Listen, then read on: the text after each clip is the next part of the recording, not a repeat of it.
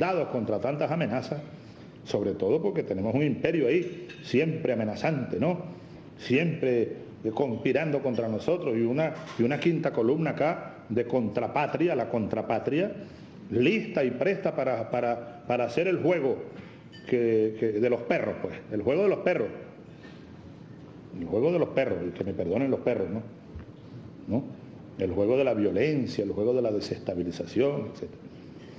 Y sobre todo cuando se, da, se dan cuenta, se dan cuenta de cómo la revolución sigue avanzando. Y ellos pareciera que les cuesta mucho eh, instalarse, lanzar sus líneas tácticas o estratégicas. En fin, en fin, tienen, tienen dificultades, tienen dificultades. Ahora, eh, Venezuela ha venido instalando fortalezas